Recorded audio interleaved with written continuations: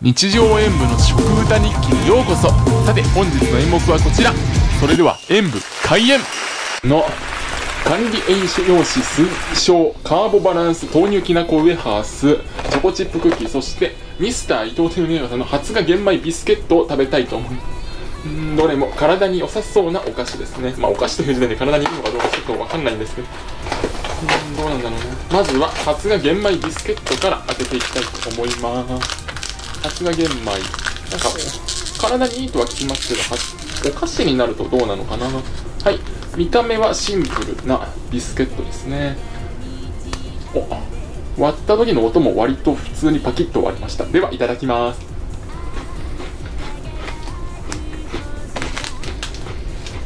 チャンネル登録よろしくお願いします。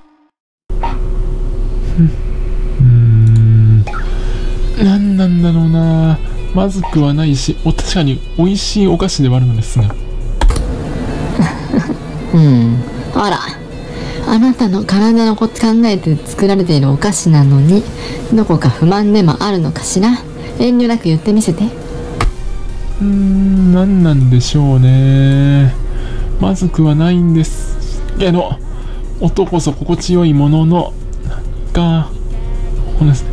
味がもう一つ足りない気がします香ばしさはあるのですがあちょっと甘さが控えめだすぎたり反対にくどい部分があったりしていずれも体にはいい分癖があるお菓子と言えるかもしれませんね。この癖をどうするかは私次第なのかそれともと思う部分があります。ごちそうさまでした。最初に食べた発芽玄米ビスケットはかなりザクザクとした香ばしさがあってところどころに発芽玄米の芽があるのかところコリッとしたザクザクのビスケットとは違う食感も感じられましたね。まあ味はシンプルでストレート。かつかなり甘さは控えめなのでジャムとかをつけても美味しくいただけると思いました。次に食べたこちらの豆乳きなこウェハース。外側のウェハースはサクサクと心地よい音を奏でてくれるんですが中のきなこクリームがちょっと少しくどい気がしましたね。なんかきなこの香ばしさとねっとり感が口の中で広がってくるので感じられる美味しいと思えれば感じられるんですけどなんだろうな。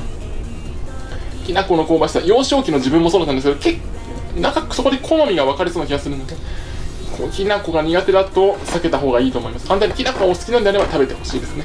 でさこちらのチョコチップクッキーも低糖質であるがゆえかかなり甘さは控えめでサクサクと試しめられた苦味が強めの大人向けスイお菓子となっていますチョコチップのコリッとした食感も全全てに言えるのは体には良さそうなんですけど少し味に癖があるお菓子だなと思いましたね。やっぱり健康に気を使うとある程度味の面が犠牲になってしまうのはあるのでしょうか。しかしその中でも発芽玄米はまあ、ジャムちょっと健康から外れますけどジャムやクリームをつけるなどすればある程度自分でアレンジして味を変えられるのでこの中に食べた中では一番いいかなと思いました。なので代表としてですね。うーん3点とさせていただきます。